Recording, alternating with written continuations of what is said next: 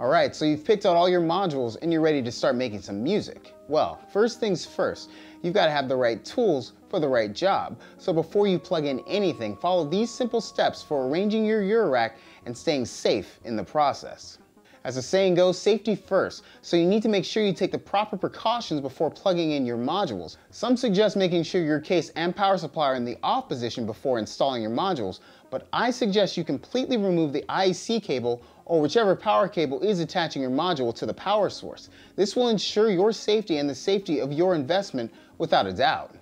Now it's time to install your modules. During the module selection process, you'll probably have picked up many different modules with many different power supply connectors. Some might have 16 pin connectors and some might have 10 pin connectors. You'll want to make sure that you attach the corresponding pins on each end of the Eurorack connector cable. Usually you'll see a red strip or dot on your unit indicating the minus 12V pins. You need to make sure that this minus 12V pin on your power supply and the minus 12V pin on your module is connected. Usually the cable has a red line along one of the sides, which is easier to match up. Regardless, make sure that when you're installing your cable to your module that you press firmly. Alright, now that we've got that out of the way, you can plug back in the power cable and power on your case and modules. The arrangement of your modules is entirely up to you.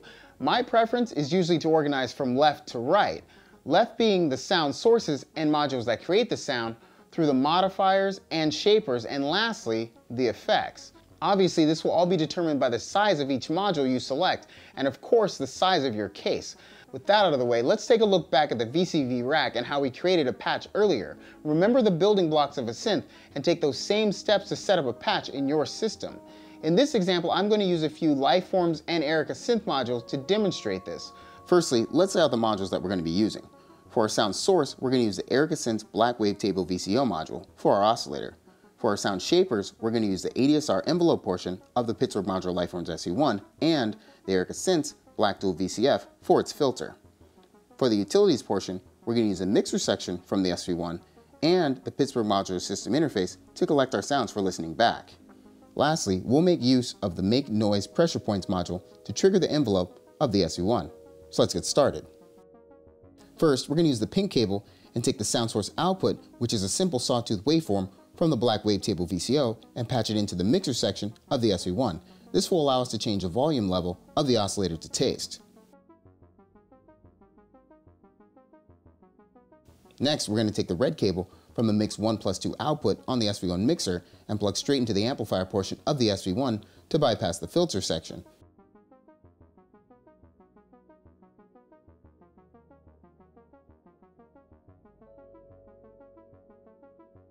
Then take the green cable and go directly into the channel 1 filter input of the Black Dual VCF.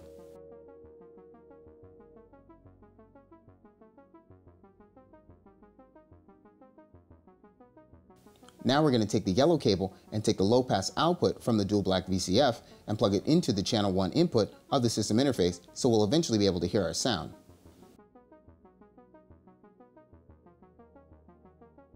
As we did in VCV Rack, we're going to use an envelope to shape our sound. So we're going to use the Make Noise Pressure Points module to trigger the ADSR on the SV1.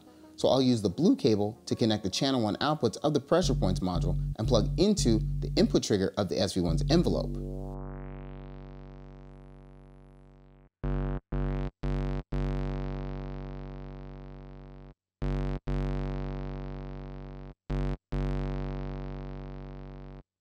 Next, for a little spice, if you unplug the red cable between the SV1's mixer and amplifier, you're able to have the envelope affect both the filter and the dynamics simultaneously. So let's listen to that.